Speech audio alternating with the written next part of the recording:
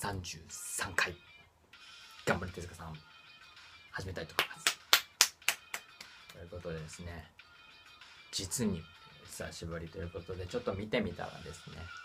8ヶ月ぶりということで、えー、その間何してたんだというお声がちらほらねないとは思いますけれども。はい。えっ、ー、と特に何もしてなかったんですけどね、えー、ということでですねただまあここからですねまた行きたいな全国の手塚さんもぐんぐんもうぐいぐいこう盛り上げて、えー、行きたいなと楽しくしたいなと思いますので手塚会をね皆さんでね思っております。ということで、はい、そうは言ってもですね実はこ今月5月でですねあのちょうど1年前にですねあのオンライン英会話というやつですね。僕英会話を始めたんですね。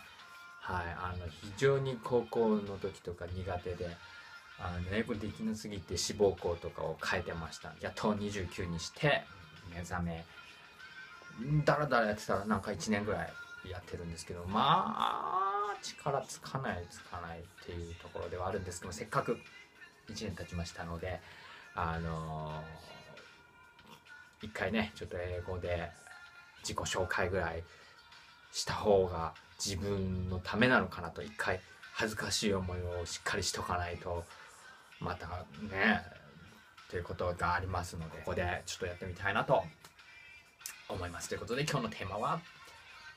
手塚さんが英語で自己紹介するよ。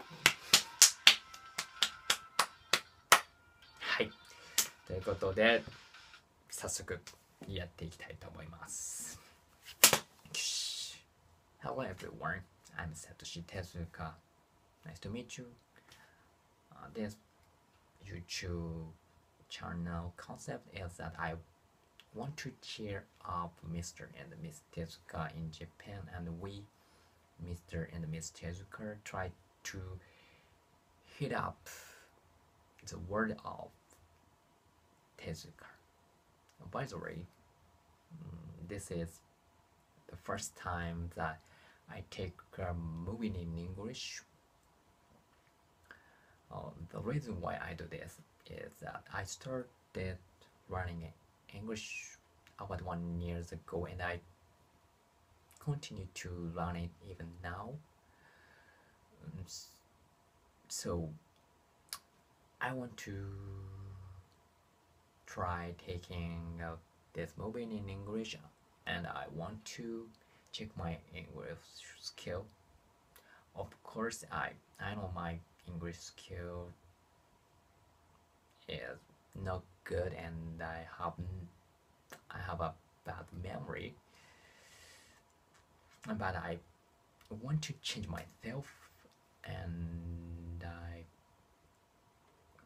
uh, I like challenging something so